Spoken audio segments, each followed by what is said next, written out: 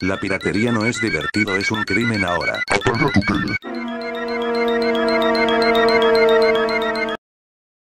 ¿Acaso eres sordo? Te dijimos que apagaras tu tele, y aún no lo has hecho. Por favor apaga la tele si no te doy más castigos.